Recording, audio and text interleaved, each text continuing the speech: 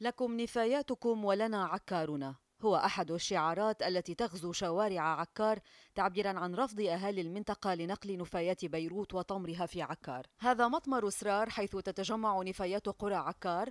هذا المطمر الذي تبلغ مساحته 4 ملايين متر مربع هو واحد من الطروحات البديلة المتداولة في الكواليس بدل مطمر الناعمة.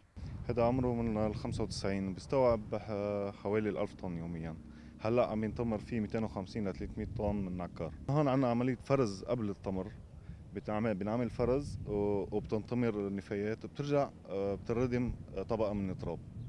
بنرفض ندخل أي نفايات خارجية إلا بعد موافقة آه، اتحادات وبلديات آه، عكار والمجتمع المدني اللي نحن جزء منه.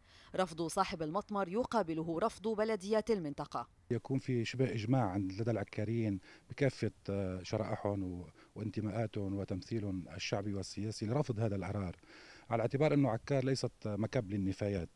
عكار كانت تنتظر الدولة أن تدخل إلى عكار من باب الإنماء فإذا بها تفاجأ بأن الدولة تدخل إلى عكار من باب النفايات.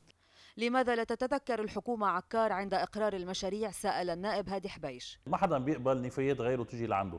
فوق كل هذا نحن عندنا أزمة إسا أكبر بكثير بعكار. هي أنه عكار ما بحياتها الدولة اللبنانية تتصرف معها على أساس هي جزء من لبنان.